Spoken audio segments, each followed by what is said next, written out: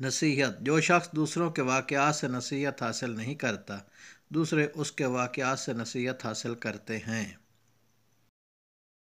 मरने से पहले वो जो शख्स हसद को दोस्त रखता है, उसका नफ्स कायम दयम नहीं रहता, इसे मरने से पहले मार देता है। हकीम बुकरात।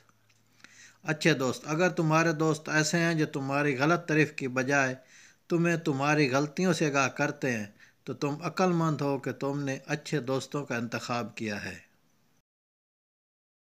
वरासत। सबसे बेहतर वरासत जो आइंदा नस्लों के लिए छोड़ी जा सकती है, वो अच्छा चाल चलन और बुलंद किरदार है।